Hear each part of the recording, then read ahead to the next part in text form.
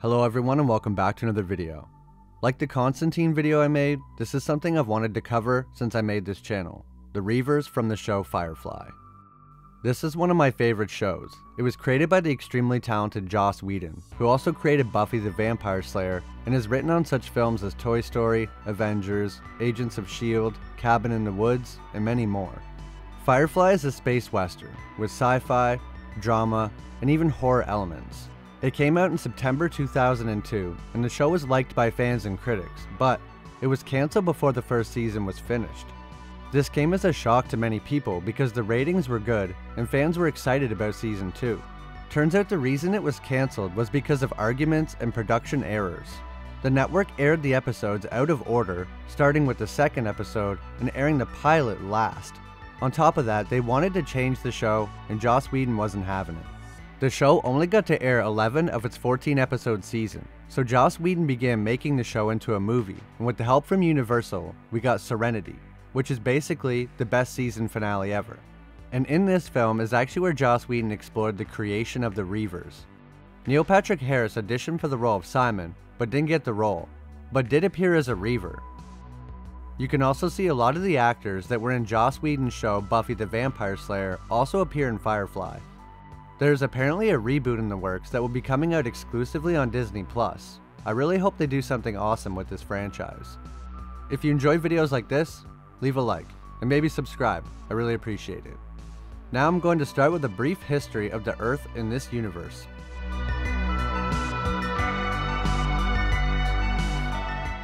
Earth that was couldn't handle the growing population, but civilization managed to develop technology that allowed them to travel through space and colonize a new solar system.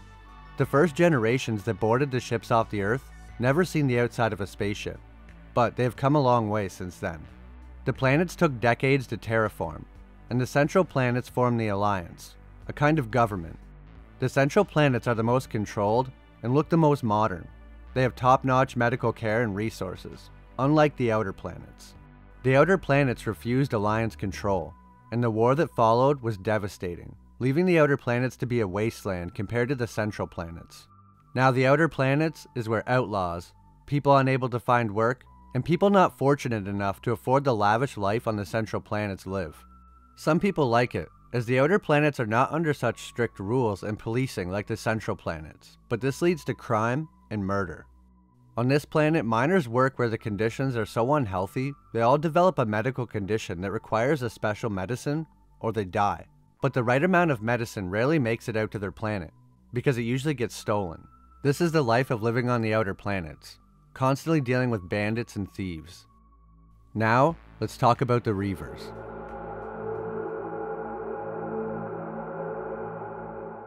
People on the central planet speak of Reavers like the boogeyman. Many people believe they're only a made up story to scare people, but not for the people that live beyond the protection of the Alliance. To them, Reavers are very real, and the worst nightmare you could possibly imagine. Some of the descriptions of what Reavers do to people are horrifying. This is a quote from Zoe, talking about the Reavers. They will force themselves on us until death, eat our flesh, and sew our skin to their clothing. And if we're very, very lucky, they'll do it in that order. Reavers occupy no planet, and instead live in their ships full time in a giant fleet. They fly around attacking ships and settlements, living purely off the flesh of humans. But there's one catch the humans they take must be alive, to the point that if the person dies, they'll leave the body behind like it's no good. Let's find out how the Reavers were created.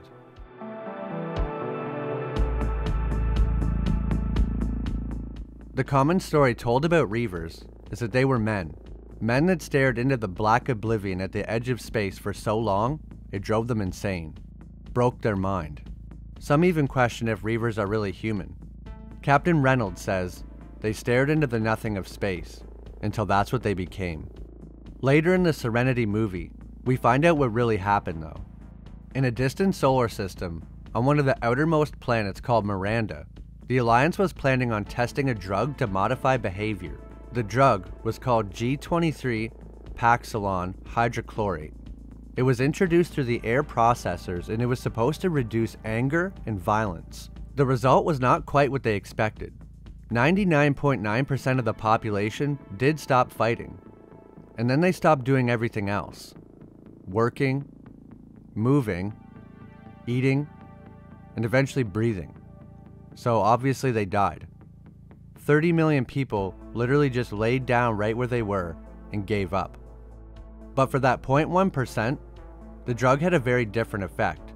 Instead of getting rid of their aggression and violence, it drove it to unthinkable levels, filling them with primal rage and sadistic tendencies. A woman is describing the events on the planet and said the packs drove them beyond madness. It made them do things. Suddenly, they break through and attack her.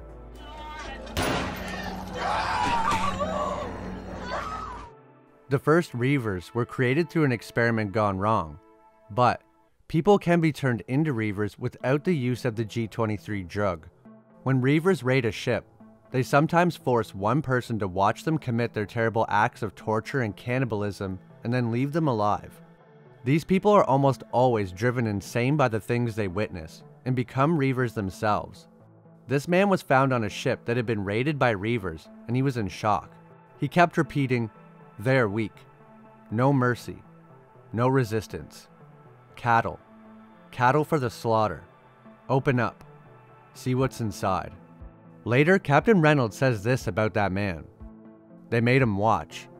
He probably tried to turn away, but they wouldn't let him. You call him a survivor? He's not.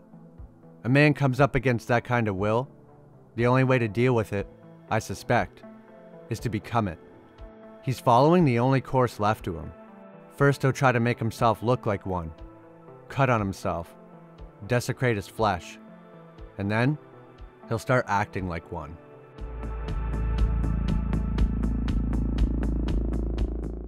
Some people speculate that Reavers might be able to somehow detect the 0.1% of people that can become Reavers, and those are the ones they leave alive, although it's not proven. If Reavers are just really aggressive humans, then why do they look like this?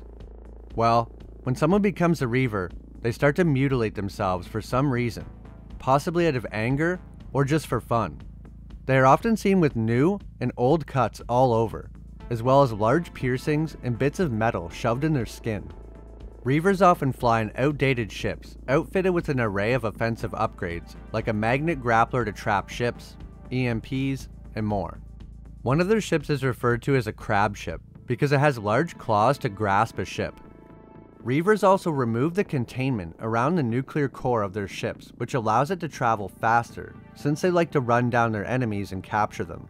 But this also means the Reavers on these ships are constantly exposed to lethal levels of radiation, which also might contribute to how they look, and why they make clothing from their victims.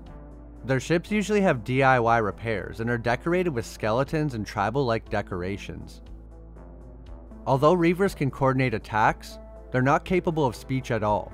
They seem to broadcast a constant stream of feral screaming and howling from their ships. It's not clear if this is to intimidate or communicate with other Reavers, or if it's the screams of the Reavers themselves or their victims. Like I said before, Reavers don't call any planet home. Instead, they live somewhere called Reaver Space, located above the planet Miranda, where they were created. Hundreds of ships gathered in a large fleet, and there's more out there. Reavers deploy ships to raid cargo vessels and other non-military ships in unprotected settlements on planets.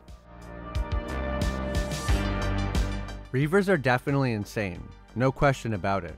But how much of their former self do they retain? Do they keep any skills or memories, or is that wiped clean? It's not 100% clear, but evidence points to the fact that they are a completely different person. They cannot speak and seem pretty barbaric, but they have been seen setting up elaborate traps and raiding a settlement with high coordination. They also manage to fly and for the most part maintain the ships that they live in, adding weapons and decorations to them as well. So they still have some level of intelligence, maybe some more than others. It's unknown if Reavers plan on which planets to raid, but they are slowly working further away from Reaver space, expanding their territory. They are seen using guns, but seem to prefer close combat, bludgeoning victims to death, probably due to their feral mental state. Reavers have also been seen using poisoned weapons. If they have no weapon, their teeth and bare hands will do just fine.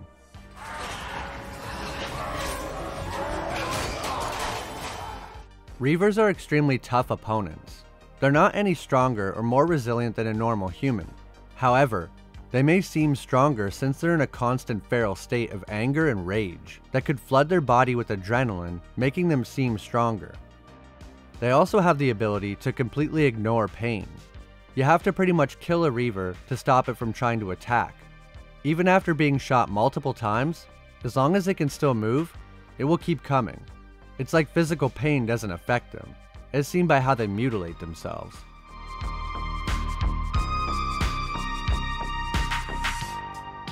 The Reavers have had one battle with an actual military power, the Alliance.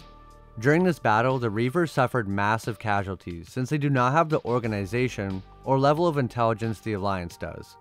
This is why they usually stick to easy targets like cargo vessels and small settlements on the outer planets, Attacking a central planet would surely be a death sentence. Although Reavers suffered a defeat at the end of Serenity, they're still out there, and they will keep creating more. Once Pandora's box has been opened, it's hard to close it. Love, land, That's my video on the Reavers from Firefly. This is such a unique show, and I really wish it would have gone on for more than one season.